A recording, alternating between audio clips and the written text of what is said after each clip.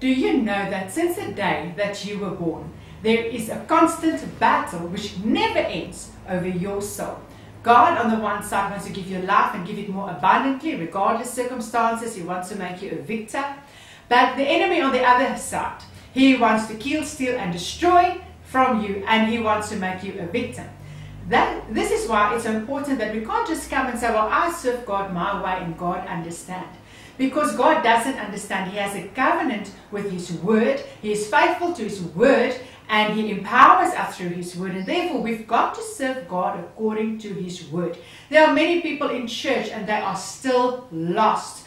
And this is why I want to look at the heart of man. I'm going to show you a couple of hearts, and maybe you're going to see yourself somewhere within one of these hearts. And when we look at the first heart, we see a man that is still controlled by the desires of this world.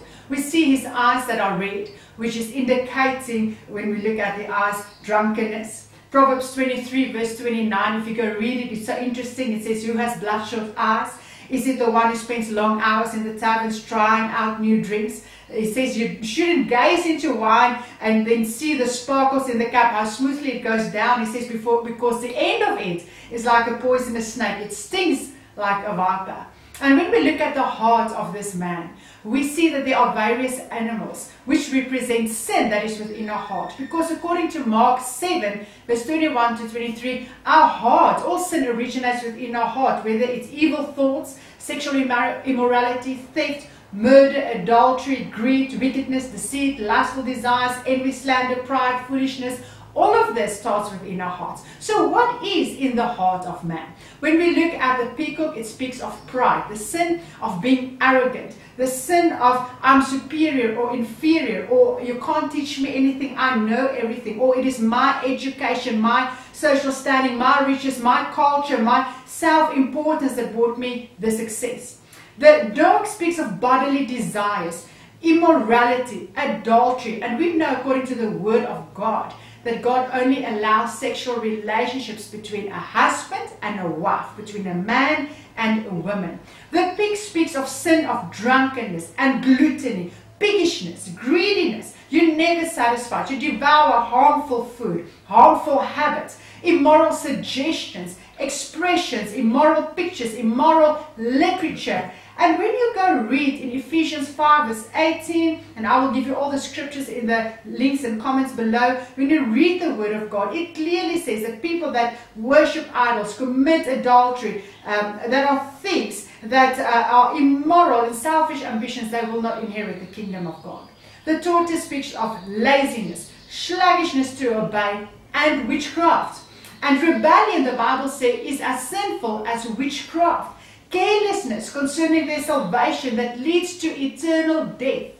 Shell of a tortoise is often used by witch doctors for the practicing of witchcraft, of fortune telling, of magic. And Deuteronomy 18 from verse 10 to 12 clearly state that these things are detestable to God. The leopard is a very savage and cruel beast. And in our hearts, sometimes we have that hatred, anger, a bad uh, temper uh, that many times lead to murder. And the Word of God says, even if you hate somebody, you have already committed murder in your heart. The frog, this is a sin of greediness, the love of money. There's a frog in the Congo, he sits in front of an ant nest and he just eat, eat, eat until he bursts and dies. This is uh, uh, how our lives are destroyed by gambling, by betting. And often this leads to stealing and murdering and suicide. And then eighth we see in this heart is Satan, the father of all lies and the father of those who tell all lies. A small lie is as bad as a big one. So whether it's a spoken word, whether it's acted, whether it's pretending that you are who you're not, causing discord in families, being a false witness. But then you see in this heart is also a star, and he speaks of the conscience of the heart of man, which is dead because of the sin. And Hebrew 10 22 says clearly that our conscience needs to be sprinkled by the blood of Jesus so it can become alive again. The eye that you see in the heart is the eye of God. And today we've got to understand that nothing can be hidden from God and from this flaming heart. He sees all the secret intentions, all the secret thoughts within your heart. And the little tongues all around speaks of the love of God. It surrounds the sinner, and although he cannot approve of the sin, he still loves the man and he, he doesn't want this person to die in sin, but he wants you to turn and to live. And then we see that the tongues also speak of the blood of Jesus, uh, but, but who overtake uh, the world and who take away the sin of the world. The angel represents the word of God, and the dove is a sign of the Holy Spirit. And the Holy Spirit cannot be in a heart that is full of sin. But then we see in the next heart, now you're starting to hear the message and to notice the message of God within your life. You start to hear the word that for the wages of sin is death, but the free gift of God is eternal life. You start hearing the word of God that just as each person is destined to once die and after this the judgment. You hear the word of God that but cowards and unbelievers, the corrupt, murderers, the immoral, those who practice witchcraft, idol worship, and all liars, their fate is in the fiery lake of burning sulfur, and this is the second death. And now you allow God, you come and say, Lord, I am sinner. I need you within my life. And He comes, and as you ask Him to forgive your sins, He comes, and the light of God that shone on the sins is, is coming and clearing and cleaning your heart this is something that you and I cannot do by ourselves. It is only through the blood of Jesus. And now what we find, we see in the next heart of man, we find that there is the angel standing right there with the word of God.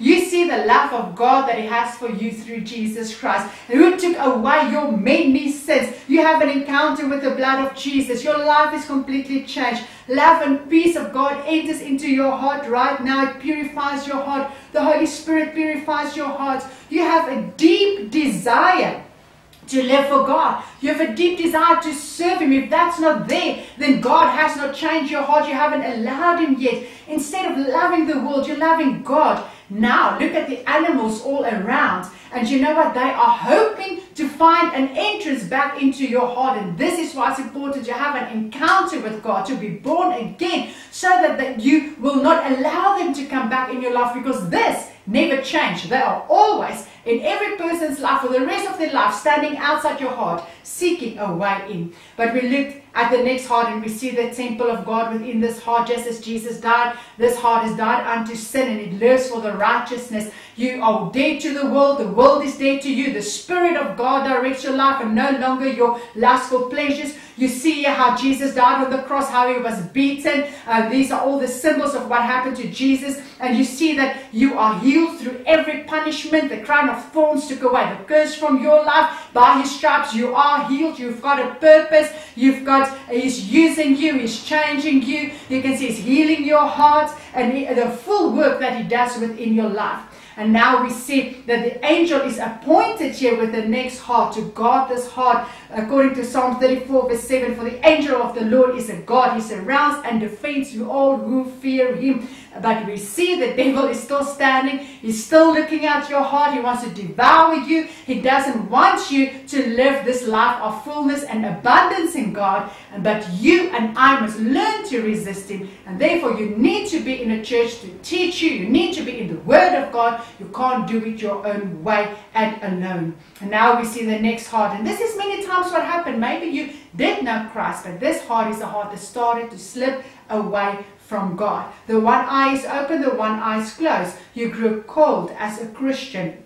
The one eye is shamelessly looking around, making love to the world. No longer ready to suffer for Christ, no longer upright, losing identity. He's surrounded by the temptations all around him, but instead of resisting them, now he is actually giving into them the false promises of the enemy. He, you go to church, but this heart is cold. He plays with the things of the world. He makes room for, for sin. We see the star, which is the conscience, is growing dim. The cross becomes unwelcome. Your faith shakes. A peacock. Now proud, pride comes in your heart and you forget it's the grace of God that saved you. The pig, you desire drinking and alcohol and gluttony again. The dog, you start telling your dirty jokes again, having your pornography, your wrong company, worldly entertainment. This stabbing, you're mocking and making uh, and resisting Christianity. The snake, the jealousy for other people that has got more and better than you. Now it opens the door for hatred, pride. The frog, you've got a love for money.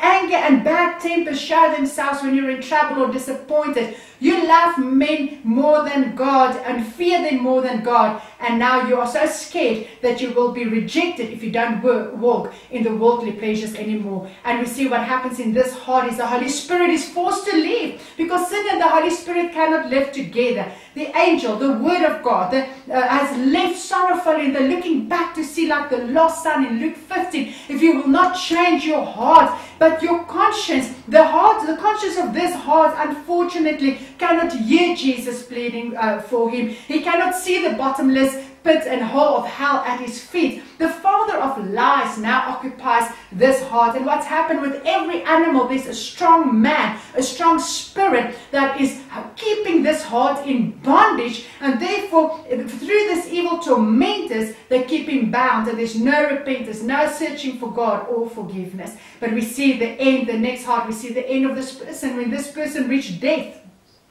Death comes unwanted, it comes unexpected now the false pleasures of sin appear and the, the reality of this dreadful cost of sin now this person face. Agonies of hell are becoming real. Empty words of your friends cannot help you. Money cannot lengthen your life. Everything you once lived for now is mocking this soul. He re has rejected the love of the Father and has come under his judgment. And him now realizing that how terrified it is to fall in the hands of a living God. He had hoped to give his life to God when it suits him or maybe at the end of his life, but now it's too late. And he is sent to an eternal hell, which was prepared for the devil and his angels. And every one of us must die and one day appear before the judgment of God. But now when we look at the victorious heart, even though you, you experience the test and the temptation, this heart won through, through Christ Jesus, through his blood. This heart, can you see, is surrounded by the enemy and to lead him in a wrong way with pride, immorality, with, with money. The donkey instead of the leopard, it tells you that sins take on many forms, many names.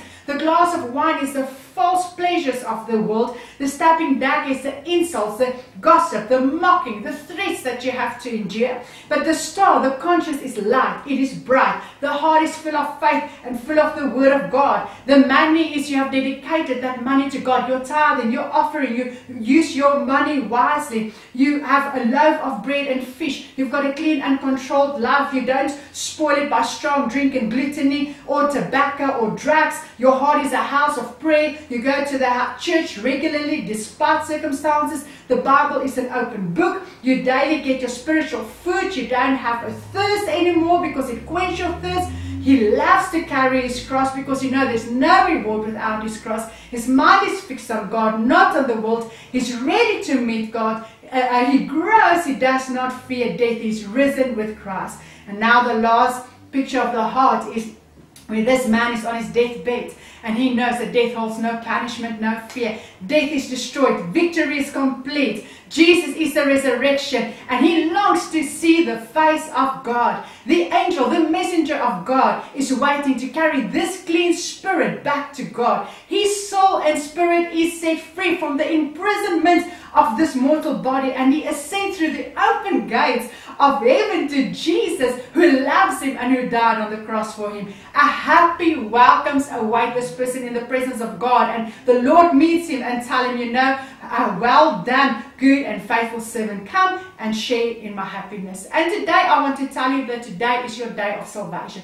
God is waiting for you. The Bible says you must be born again. John 3 verse 3, he said, I tell you the truth, unless you are born again, you cannot see the kingdom of God. As a child, you are born from the seed of your parents. Now you are born from the seed of God. There is no other way. It is a supernatural thing that happens in your heart where your, your Holy Spirit is being born again. And you have to do it now. The Bible says 2 Corinthians 6 verse 2, um, at just the right time I heard you. On the day of salvation I helped you. Indeed, the right time is now Today is salvation. Repent and turn to God. Acts 3 verse 19. Now repent of your sin and turn to God so that your sins may be wiped out. It's not a matter of being good or bad. It's a matter of being dead or alive, being lost and found. Following God might cost you everything, but I want to tell you, following him, not following him, will also cost you everything. And Romans 10 verse 9 to 10 says, if you confess with your mouth with Jesus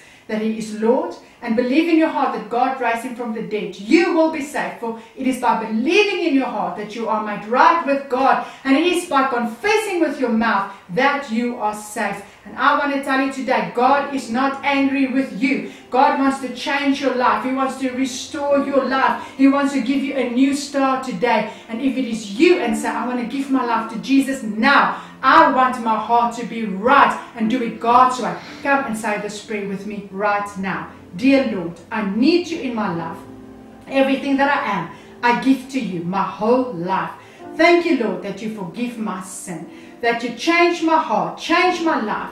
I will never be the same again. I receive you. I am your child, and nothing can snatch me out of your hand. Nothing can separate me from your love for I am your child in Jesus' name. And now I pray for you. I pray that the, every power of the devil is broken over your life. Thank you, Lord, that you make this person that said this prayer free from every bondage, that they will know the will of God, understand the will of God, be strengthened in the inner man, that they will go from strength to strength and live their lives for you in the name of Jesus. Amen. Hallelujah. I want to encourage you. We're going to continue with this series. You can't stop here. You need to hear what to do next. Go to my website. Listen to my messages on the blood of Jesus. Get involved in a church. You need to grow. This is only the first step. There's a lot more that God has in store for you. God bless you.